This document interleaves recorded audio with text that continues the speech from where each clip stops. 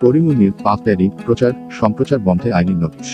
পরিমুনি অভিনীত web series পাক প্যারি প্রচার, সম্প্রচার ও প্রদর্শন তিন দিনের মধ্যে বন্ধে আইনি নোটিশ পেয়েছেন সুপ্রিম কোর্টের এক আইনজীবী। আইনি নোটিশ পাঠানো বাংলাদেশ সুপ্রিম কোর্ট ও কুমিল্লা জজ কোর্টের আইনজীবী জয়নাল আবেদিন মাঝারি বিষয়টি নিশ্চিত করেন। রবিবার, চব্বিশে সেপ্টেম্বর, বাংলাদেশ টেলিকমিউনিকেশন কোম্পানি লিমিটেডের বিকেসিএল চেয়ারম্যান ও ম্যানেজিং ডিরেক্টর ও টিটি প্ল্যাটফর্ম বঙ্গ বিডির ব্যবস্থাপনা পরিচালক বাংলাদেশ চলচ্চিত্র সেন্সর বোর্ডের চেয়ারম্যান, তথ্য ও সম্প্রচার মন্ত্রণালয়ের সচিব এবং বাংলাদেশ চলচ্চিত্র সেন্সর বোর্ডের ভাইস চেয়ারম্যানের কাছে মেলের মাধ্যমে ও ডাকযোগে এই নোটিশ পাঠানো হয়েছে বলে জানিয়েছেন ওই আইনজীবী। আইনজীবী জয়নাল আবেদিন মাঝারি এ বিষয়ে বলেন, আমাদের সন্তানরা কি দেখছে? এসব নিয়ে কথা না বললে এটা অব্যাহত থাকবে। এটি দায়িত্ববোধ থেকে করেছি।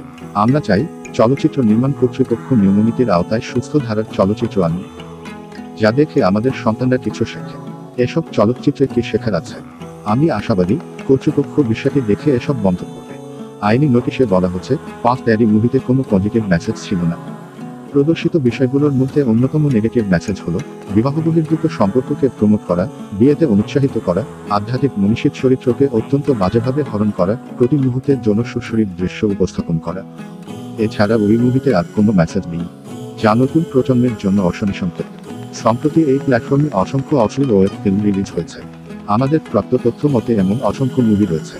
এসব প্ল্যাটফর্মের প্রায় সকল মুভিতেই কমবেশি যৌন সুশরীর দৃশ্যসহ ব্যাপক হারে ধর্মীয় অনুভূতিতে আঘাত হানা, দেশি সংস্কৃতি বিরোধী গল্প ও দৃশ্য উপস্থাপন করা হয়।